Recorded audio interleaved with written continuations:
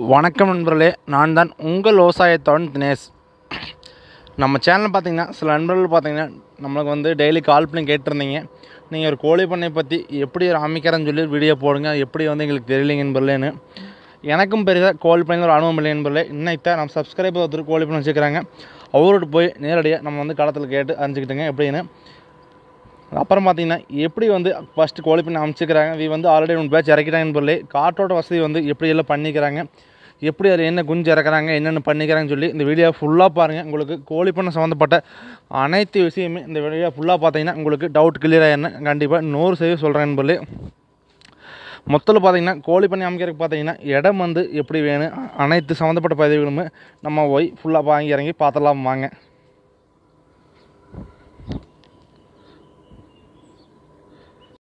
நம்ம ஃபஸ்ட்டு கோழி பண்ணையில் ஃப்ரண்ட் வியூ பார்த்துலாங்க எப்படி அமைச்சிக்கிறாங்கன்னு சொல்லி. இது பார்த்தீங்கன்னா நம்ம வந்து இதுதான் வந்து கோழி பண்ணை வந்து உள்ளே வந்து என்ட்ரன்ஸ் போகிற இடங்க இது பார்த்தீங்கன்னா இந்த மாதிரி கேட்டு வந்து நிறைய வச்சுக்கிறாங்க. இதை ஃபஸ்ட் என்ட்ரன்ஸ் போகிற இடங்க நம்ம உள்ளே போய் பார்த்துட்டு நம்ம பேசலாங்க. சரி நண்பர்களே நீங்கள் பண்ணி பாருங்கள் நம்ம வந்து எப்படி டீட்டெயில் தெளிவாக சொல்கிறேன் நண்பர்களே. இது பார்த்தீங்க நண்பர்களே நல்லா வந்து கோழி பண்ணை அமைக்கிறதுக்கு ஒரு ப்ளஸ் பாயிண்ட் வந்து அவங்க என்ன சொல்கிறாங்கன்னா நம்ம வந்து கேட்டதில் நல்லா வந்து ஒரு காற்றோட்டம் வசதியான வந்து இடமா பார்த்து ஸ்லைட் பண்ணிக்கணும். அதாவது அந்த நம்ம தோட்டத்தில் வந்து நல்லா மேட்டு பகுதியை பார்த்து ஸ்லைட் பண்ணிக்கணுங்கிறாங்க. ஏன்னு கேட்டால் கோழிகளுக்கு பார்த்தீங்கன்னா நல்ல காற்றோட்டமான வந்து தேவைப்படுதுங்க. அதுக்காக வந்து நம்ம வந்து கோழிகளுக்கு ஸ்பேன் மாட்டி அதெல்லாம் வந்து பண்ண நினச்சிடாதீங்க. அப்படியெல்லாம் பண்ணால் அது வந்து செட் ஆகாதுங்க. இயற்கையிலேயே வந்து நம்ம காற்றோட வசதி உள்ள இடத்த வந்து சூஸ் பண்ணிக்க நண்பர்களே ரெண்டாவது கோழி பண்ணை வந்து ஒரு டைம் போட்டிங்க அது வந்து மாற்றி அமைக்கிறனா முடியாத காரியம். ஏன்னு கேட்பீங்க அது பார்த்தீங்கன்னா ஒரு பல லட்ச ரூபா சம்மந்தப்பட்ட ஒரு எஸ்டிமேட் போட்டு பண்ணக்கூடியதுங்க. ஒரு டைம் போட்டால் அது வந்து ரெண்டாவது மாற்ற முடியாதுங்க. லைஃப் லாங் வந்து அதே தான் நீங்கள் வந்து ஃபஸ்ட்டே வந்து இடத்த சூஸ் பண்ணுறோம் பார்த்தீங்கன்னா நல்லா மேட்டு பகுதி பார்த்து காற்றோட்டமான பகுதியில் பண்ணிக்கணுங்க. நீ வந்து இது தோட்டத்தில் எண்டில் வந்து போட்டிருக்காங்க கார்னரில் அதே மாதிரி சென்ட்ரல் போட்டிங்கன்னா நீங்கள் வந்து விவசாயம் பண்ணுறதுக்கு வந்து இடைஞ்சலாக இருக்குங்க. நீங்கள் எந்த ஆறு எந்த நம்பரில் போட்டாலுமே இது பார்த்தீங்கன்னா இது ஃபுல் லேண்டு அவிழுதுங்க உள்ளே. இந்த கார்னரில் பார்த்தீங்கன்னா இவ்வளோ தான் விளையாண்டு அந்த சைடு லேண்டு பார்த்தீங்கன்னா வேறு. இந்த எண்டு தான் அந்த மரத்தாவை எண்டு முடிஞ்சதுங்க.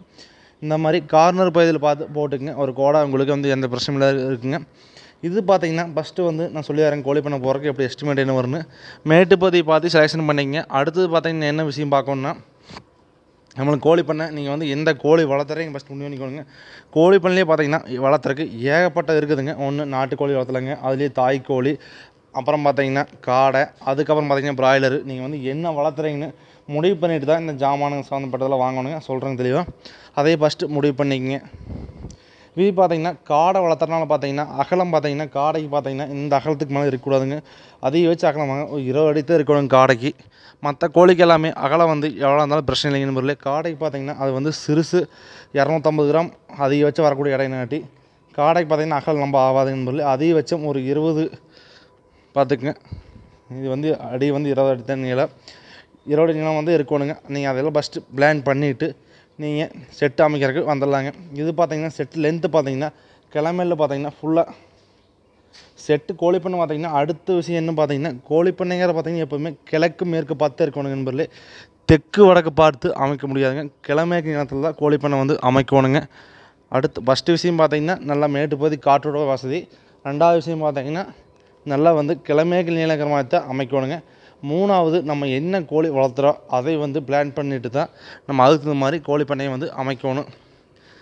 இது பார்த்திங்கன்னா நம்ம பண்ணையை போட்டு இன்னொரு பெரிய பெரிய கம்பெனி இருக்கிறாங்க அவையோட டைப் பண்ணிட்டா அவையிலே வந்து குஞ்சு இறக்கிடுவாங்க நம்ம வந்து அவைகளுக்கு வந்து வளர்த்தி கொடுத்தா அவைகளுக்கு வந்து குஞ்சுக்கு எவ்வளோன்னு சொல்லி நம்மளுக்கு வந்து கமிஷன் மாதிரி கொடுத்துருவாங்க என்பதை நம்மவே போய் கோழியெல்லாம் வாங்கி தனியாக வாங்கி இறக்கி விற்க வேண்டியது இல்லைங்க. நம்ம வந்து வளர்த்தி கொடுத்தாங்கன்னா வளர்த்தி நம்ம கொடுத்துருவோங்க. அவை வந்து நம்மகிட்டே வந்து பிடிச்சிட்டு போயிடுவாங்க நண்பர்களே. அது எப்படிங்கிறத வீடியோ ஃபுல்லாக பாருங்கள் ஸ்கிப் பண்ண பாருங்கள் அப்போ தான் உங்களுக்கு புரியும்.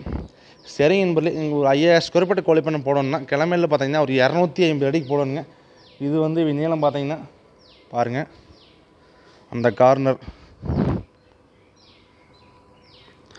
அந்த கார்னர் வரைக்கும் இரநூத்தி ஐம்பது அடி வருங்க. அதாவது இரநூத்தி ஐம்பதுக்கு இந்த அகலம் பார்த்தீங்கன்னா இந்த அகலம் இருபது அடிங்க. ரெண்டையும் பெருக்குனீங்கன்னா ஐயாயிரம் மருந்து என்பதில் அதுதான் வந்து ஐயாயிரம் ஸ்கொயர் ஃபீட்டுங்க காடை பார்த்தீங்கன்னா ஒரு ஸ்கொயர் ஃபீட்டுக்கு அஞ்சு இறக்குவாங்க. அதாவது ஒரு ஸ்கொயர் ஃபீட்டுங்கிறது ஐயாயிரம் ஸ்கொயர் ஃபீட்டுக்கு ஒரு ஸ்கொயர் ஃபீட்டுக்கு அஞ்சுனா ஐயாயிரம் ஸ்கொயர் ஃபீட்டுக்கு இருபத்தி ஐயாயிரம் காடை வந்து இந்த செட்டில் வந்து ஃபுல்லாக இறக்கலாங்க. வி வந்து அப்படித்தான் இறக்கிட்டு இருக்கிறாங்க நண்பர்களே. காடை வந்து இருபத்தி ஐயாயிரம் காடை தான் வந்து இறக்கிட்டு இருக்கிறாங்க. அதை மெயின்டைன் பண்ணி அதை பார்த்துருக்காங்க நண்பர்களே. இப்போ வந்து பார்த்தீங்கன்னா காடை வந்து போயிடுச்சுங்க அடுத்தது வந்து உங்களுக்கு வந்து பார்த்தீங்கன்னா ஒரு பேட்ச் பிடிச்சிட்டாங்க அடுத்து முப்பதுனா வந்து அது கேப் வருங்க. அந்த கேப் இருந்தால் மட்டும்தான் பார்த்தீங்கன்னா அடுத்து வரக்கூடிய பேட்ச் வந்து ரிசல்ட் நல்லா வரும்னு சொல்லி ஒரு பேட்ச் உள்ளே வந்தால் கார்டை வந்து இருபத்தஞ்சு நாள் டூ முப்பது நாள் கம்ப்ளீட்டாக இருக்க அடுத்து பார்த்தீங்கன்னா அந்த மறுபடியும் ரிட்டன் காடை உள்ளே கொண்டா இருக்குது மறுபடியும் முப்பது நாள் வந்து இந்த மாதிரி ஷெட்டு க்ளீன் பண்ணிக்கிறாங்க பாருங்க. ஒரு தூசு துப்பு எதுவுமே இல்லாமல் என்ன இப்படி நீட்டாக வச்சுக்கிறாங்க பாருங்க. பார்த்தா வீடாக இருக்குது. வீடே இந்தளவுக்கு வச்சுருப்பாங்க இந்த இல்லைங்க ஒரு தூசு கூட இல்லைங்க நண்பர்களே. தெளிவாக வச்சுக்கிறாங்க பாருங்கள் இதுக்கு பார்த்தீங்கன்னா உனக்கு கீழே சுண்ணாம்பு அடிச்சு இதுக்கு மேலே காயர் மஞ்சி இருக்குது பித்தும்பாங்க அதை கொண்டாந்து போட்டு வச்சுருவாங்க உனி அது பார்த்தீங்கன்னா வளர்ந்துட்டுருக்கு அதுக்கப்புறம் தான் வந்து காடை இறக்க முடியும் என்பது. அது வந்து எப்படி வளர்த்துறாங்க ஒவ்வொரு ஸ்டெப்பாக வந்து நம்ம வந்து காடை வந்ததுக்கப்புறம் வீடியோ தெளிவாக காமிக்கிறேங்க. ஃபஸ்ட்டு வந்து பண்ணை அமைப்பதற்கு உண்டான வந்து எல்லாமே பார்த்துக்கலாங்க. நீளாகலத்தை பார்த்தீங்க சைடில் பார்த்தீங்கன்னா வலை வந்து இது குறைஞ்ச வசம் பார்த்தீங்கன்னா ஒரு ஏழு அடியாவது வந்து மேலே இந்த சிம் சீட்டில் இருந்த சிம் சீட் மேலே பாருங்கள் இந்த சைடில் கீழே காலிங்க இருக்கு பாருங்கள் இது வந்து குறைஞ்சபட்சம் ஒரு ஏழு அடியாக இருக்கணும் என்பது இது கம்மியாக வச்சுட்டிங்கன்னா உங்களுக்கு பார்த்தீங்கன்னா காற்றோட்ட வசதி வந்து வராதுங்க. சில சில ஏரியாவில் பார்த்தீங்கன்னா காற்று வந்து அதிகமாக வர்றாக்க சரி வளர்த்து கம்மியாக வச்சா போதும்னு சொல்லி வச்சுருப்பாங்க. அப்படி வைக்கும் பட்சத்தில் பார்த்தீங்கன்னா உள்ளே வந்து இயற்கையான மழை காலங்கள் காற்று வந்து அதிகமாக வந்ததுன்னா நம்ம வளர்த்தியாக இருந்தால் சேதப்படுத்திட்டு ஓட்டு. எனக்கு தெரிஞ்ச பல சில பார்த்தீங்கன்னா பல பண்ணைகளை சைடில் வந்து வளர்த்தி கம்மி வச்சுக்கிறாங்க அப்படி வச்சதுனால பார்த்தீங்கன்னா ரிசல்ட் வந்து அந்த பண்ணையில் பார்த்தீங்கன்னா சரியான கோழியோட ரிசல்ட் வந்து வராது நண்பர்களே. இந்த கேப் இருந்தால் மட்டும்தான் சைடில் வந்து இந்த கேப் ஏழு கேப் இருந்தால் மட்டும்தான் உங்களுக்கு வந்து ரிசல்ட் வந்து கரெக்டாக பக்காவாக வருங்க. ஏன்னா வந்து இயற்கையிலேயே காற்றோட்டம் இருந்தால் மட்டும்தான் நம்ம வந்து அதை கரெக்ட் பண்ண முடியுங்க. ஒரு நோவே கோழி குஞ்சுக்கு வந்தாலும் அதை வந்து இயற்கையான முறையில் வந்து கட்டுப்படுத்துறது தான் ஈஸியான வழிங்க. கேப் சைடில் ஏறடி அடி இப்போ இந்த பார்த்தீங்கன்னா இரநூத்தி ஐம்பது அடிங்காட்டி பத்து அடிக்கு பார்த்தீங்கன்னா ஒரு கால் வச்சுக்கிறாங்க. இந்த மாதிரி பார்த்தீங்கன்னா அந்த லாஸ்ட்டுக்கும் இந்த லாஸ்ட்டுக்கும் பார்த்தீங்கன்னா இருபத்தி மூணு கால் வருங்க. பத்து அடிக்கு ஒரு கால் இருபத்தி அஞ்சு கால் வரும்னு நினைப்பீங்க. மே அந்த லாஸ்ட்டில் செவர் இருக்குது அந்த லாஸ்ட் செவர் இருக்குது அதனால் இருபத்தி மூணு கால் உள்ள வச்சு நின்றுருக்காங்க பத்து அடிக்கு ஒரு கால் வச்சு நின்றுருக்காங்க சைடில் பார்த்தீங்கன்னா இந்த டோர் பார்த்தீங்கன்னா இந்த மாதிரி நீங்களே பாருங்கள் அங்கே ஒரு டோர் வச்சுருக்குறாங்க.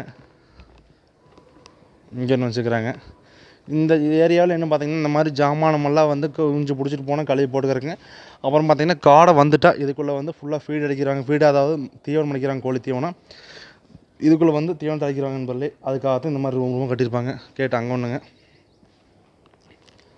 அங்கே ஒன்று அந்த எண்டில் ஒன்றுங்க அதாவது இந்த பண்ணைக்கு பார்த்திங்கன்னா அஞ்சு கேட் வச்சுக்கிறாங்க எதுக்குன்னா காடை கடைசியில் பிடிச்சிட்டு போகிறப்ப வந்து ஒவ்வொரு கேட்டுக்கு வந்து இந்த கேட்னா இந்த சரௌண்டிங் ஃபுல்லாக பிடிச்சிக்குவாங்க. அந்த கேட்னா அந்த சரௌண்டிங் ஃபுல்லாக பிடிச்சிக்குவாங்க. ஏன்னா இந்த கோட்டில் வந்து அந்த லாஸ்ட் வரைக்கும் கொண்டு வரணும்னா வாய்ப்பு கம்மி தான் நண்பர்களே. அதனால் வந்து அங்கங்கே ஒரு கேட்டு வச்சுக்கிறாங்க நண்பர்களே. அடுத்து பார்த்தீங்கன்னா மேல் டாப் பார்த்தீங்கன்னா சிம்ச்சிட்டு போட்டிருக்காங்க வியா. உங்களுக்கு தகுந்த பட்சத்துக்கு இதில் வந்து ஓடும் போடலாங்க. இப்போ பார்த்தீங்கன்னா பந்தல் அந்த மாதிரி தடுக்கு போட்டு மேலே தகர்ச்சிட்டும் போடுறாங்க. அது வந்து உங்களுக்கு என்ன பட்ஜெட் தகுந்த மாதிரி அதை போட்டு நண்பர்களே எதுவாக இருந்தாலும் வந்து அது நோ ப்ராப்ளங்க சைடில் ஏழடி கேப் வச்சிட்டிங்கன்னா அது எதுவாக இருந்தாலும் நோ ப்ராப்ளம் நண்பர்களே அடுத்த விஷயம் பார்த்தீங்கன்னா மேலே அந்த மாதிரி கவுரு இதெல்லாம் போகுது. உங்களுக்கு எதுக்கு போகும் டவுட்டாக இருக்குது இதெல்லாம் பார்த்தீங்கன்னா காடை வந்து வந்ததையுமே இது ஃபுல்லாக மேலே சைடில் படுதா கட்டிக்கிறாங்க பாருங்கள் அதையும் வந்து ஃபுல்லாக அப்படி வச்சுக்குவாங்க வந்துருங்க. ஏன்னா காடை வந்து பார்த்தீங்கன்னா மொத்தமே இருபத்தி ஐந்து நாட்கள் அது வந்து நம்ம பொடி குஞ்சை வருங்கன்னு சொல்லி அவங்க வீடியோ போடுறேங்க. அப்படி அந்த குஞ்சு பார்த்தீங்கன்னா ஹீட்டு வந்து நம்ம வந்து தாங்க ஹீட் கொடுத்துட்டே இருக்கணுங்க. அது குளிர்காலத்தில் தாங்காதுங்க. அதனால் பார்த்தீங்கன்னா ஹீட் கொடுக்குறக்காக தான் வந்து உள்ள கறியெல்லாம் போடணும் சொல்லி அண்டாவில் வச்சு அந்த ஹீட் கொடுக்குறப்ப பார்த்தீங்கன்னா அந்த ஹீட் வந்து நல்லா காடைக்கு அப்சர்வ் பண்ணுறதுக்காக அந்த ஹீட் வெளியே போகாத காலத்தை ஃபுல்லாக படுதாவில் வந்து க்ளோஸ் பண்ணிடுவாங்க. அதாவது சைடு படுதாவில் இதுக்கு வரைக்கும் இந்த படுதாவும் க்ளோஸ் பண்ணிடுறாங்க நண்பர்களே. இந்த பண்ணை போடுறதுக்கு பார்த்தீங்கன்னா எஸ்டிமேட் பார்த்தீங்கன்னா எவ்வளோ வரும்? அதுவும் டீட்லேயே சொல்லி சரிங்க நண்பர்களே பார்த்தீங்கன்னா இந்த பண்ணை போடுறதுக்கு எவ்வளோ பட்ஜெட் வரும்னு பார்த்துலாங்க இந்த ஜாமானம் எல்லாம் இன்க்ளூட் பார்த்தீங்கன்னா எல்லாம் சேர்த்து ஐயாயிரம் ஸ்கொயர் ஃபீட் போட்டிங்கன்னா ஒரு ஸ்கொயர் ஃபீட்டுக்கு பார்த்தீங்கன்னா இரநூத்தி ஐம்பது ரூபா கண்டிஷனில் வருங்க. அதாவது ஐயாயிரம் மின்ட்டு இரநூத்தம்பது போட்டிங்கன்னா எவ்வளோ வரும்னு பாருங்கள் பன்னெண்டு லட்ச ரூபா இன்றைக்கி வந்து இந்த பண்ணை போட்டு முடியறதுக்கு கடைசியில் ஃபினிஷிங் குஞ்சு இறக்குற வரைக்கும் ஏ டு ஜெட் எல்லாம் சேர்த்து பன்னெண்டு லட்ச ரூபா வரும் நண்பர்களே. இதெல்லாம் என்ன ஜாமான்னு பார்த்தீங்கன்னா இதெல்லாம் வந்து உங்களுக்கு குஞ்சு வந்ததுக்கப்புறம் தெளிவாக சொல்கிறேன் நண்பர்களே. இப்போ சொன்னால் உங்களுக்கு புரியாது. பட் வந்து எனக்கும் தெரியாது. இது பார்த்தீங்கன்னா தீவனம் போட்டு உள்ளே வைக்கிறக்குங்க இது வந்து தண்ணி டிங்கிறங்க எல்லாமே வந்து உங்களுக்கு குஞ்சு வந்ததுக்கு பார்த்தா தான் சரியாக சொல்ல முடியுங்க நண்பர்களே. இது பார்த்தீங்கன்னா அந்த ஆங்கிள் பார்த்தீங்கன்னா அந்த குஞ்சு வந்து ஒவ்வொரு டிஸ்டன்ஸ் கொடுத்து அடுத்து வைக்கிறதுக்குங்க. பத்து அடினா பத்தரை கிலோ வந்து ஒரு பத்து ஆயிரம் குஞ்சு ஐயாயிரம் குஞ்சு அந்த மாதிரி அடுத்து வைக்கிறது தான். இந்த ஆங்கிலுங்க நண்பர்கள் எல்லாம் இன்க்ளூடு பார்த்தீங்கன்னா இது வந்து உள்ளே பைப் லைன் வச்சுக்கிறாங்க. ஷார்ட் அண்ட் ஸ்வீட் உங்களுக்கு எல்லாம் தெளிவாக சொல்லியிருப்பேன் நண்பர்களே. இது உங்களுக்கு தெளிவாக புரியாட்டி அடுத்து நெக்ஸ்ட் டைம் வந்து கொஞ்சம் வந்தால் இன்னொரு வீடியோ போடுங்க நண்பர்களே. அதில் வந்து இன்னும் தெளிவாக வந்து எவ்வளோ தெளிவாக சொல்லணுமா சொல்லிடுறேன் நண்பர்களே. ஓரளவுக்கு வந்து உங்களுக்கு கோழி பண்ணை எப்படி அமைக்கிறத பற்றி உங்களுக்கு தெரிஞ்சிருக்குங்க.